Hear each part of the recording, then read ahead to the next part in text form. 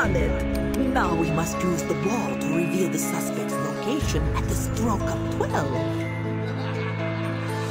Only by focusing deep within the ball will the puzzling future be brought home.